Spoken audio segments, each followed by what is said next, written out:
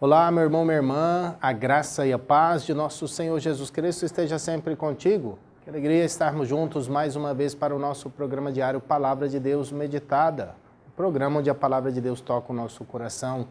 Hoje nós temos a alegria de ter conosco a nossa irmã Denise, que vai nos partilhar a Palavra de Deus. Antes de irmos para a nossa meditação, vamos pedir a intercessão da Virgem Maria, Mãe de Deus e nossa Mãe, para que ela nos alcance junto a seu Filho Jesus a graça de termos um coração aberto e acolhedor a esta palavra que será partilhada. Rezemos juntos. Ave Maria, cheia de graça, o Senhor é convosco. Bendita sois vós entre as mulheres, e bendito é o fruto do vosso ventre, Jesus. Santa Maria, Mãe de Deus, rogai por nós, pecadores, agora e na hora de nossa morte. Amém. Boa tarde a todos que hoje estão conosco nesse programa Palavra de Deus Meditada. Hoje nós vamos nos deixar guiar pelo trecho de Romanos. Quem tiver sua Bíblia, pegue aí junto conosco. É Romanos 12, 5 a 16a. Romanos 12, do versículo 5 ao 16a. Esse trecho da carta aos Romanos nos diz assim: Irmãos, nós, embora muitos, somos em Cristo um só corpo, e todos membros uns dos outros. Temos dons diferentes, de acordo com a graça dada a cada um de nós. Se é a profecia, esforçamo-nos em harmonia com a fé. Se é o serviço, pratiquemos o serviço se é o dom de ensinar, consagremos-nos ao ensino. Se é o dom de exortar, exortemos. Quem distribui donativos, faça-o com simplicidade. Quem preside, presida com solicitude.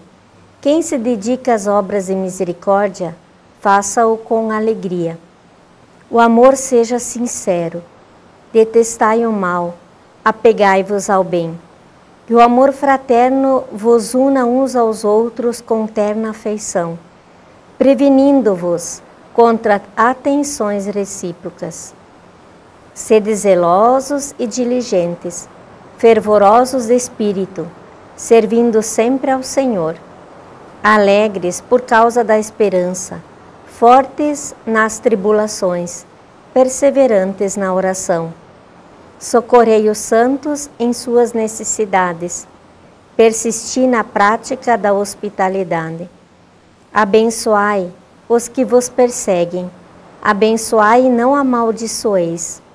Alegrai-vos com os que se alegram, chorai com os que choram. Mantende um bom entendimento uns com os outros.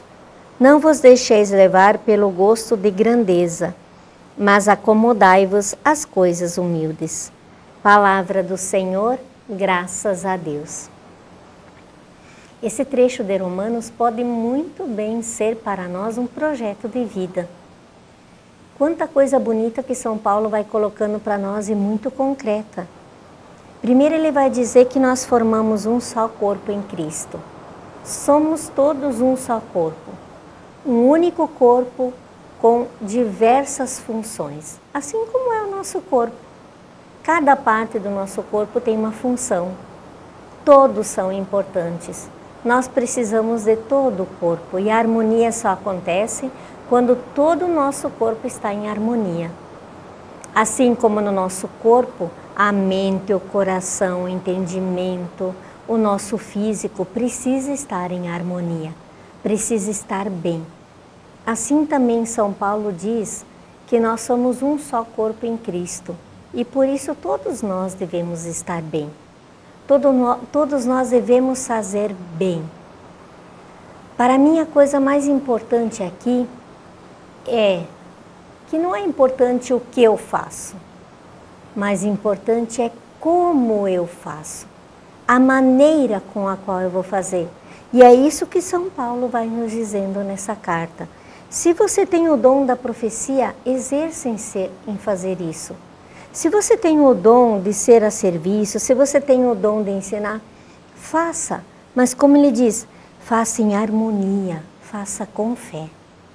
quando você for fazer as coisas, faça de um modo que todos possam olhar para você e dizer: esse é um cristão de verdade.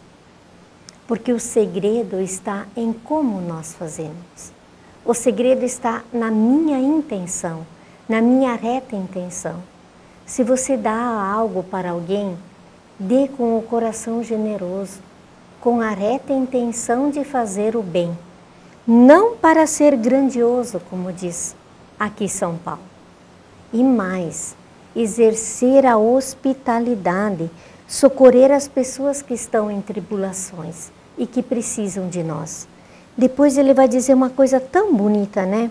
Sede zelosos e diligentes. O zelo e a diligência. Fazer sempre com aquela vontade de fazer bem. E fazer bem. Depois ele vai dizendo: alegres na esperança. A esperança que vai nos dar alegria. A esperança de que tudo que fazemos e somos está em Deus fortes na tribulação. Por que fortes? Porque a nosso refúgio é o Senhor. A rocha firme da nossa vida é o Senhor. Então, quando chegar tribulações, nós estamos na rocha firme que é Cristo, perseverantes na oração. A oração é que vai nos dar força. A oração é que vai nos ensinar como sermos e como fazermos as melhores coisas para que o nosso corpo seja sadio o nosso corpo, que é a igreja. E nós colocamos aqui a nossa vida em Jesus. E terminamos junto com São Paulo quando ele diz: mantendo um bom entendimento uns com os outros. Nossa igreja precisa caminhar em harmonia, nossa família, nosso trabalho.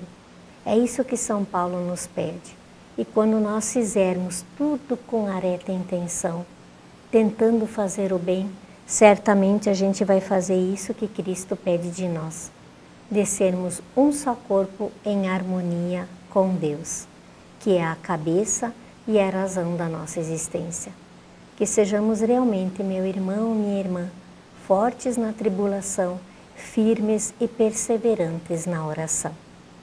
Glória ao Pai, ao Filho e ao Espírito Santo, como era no princípio, agora e sempre. Amém.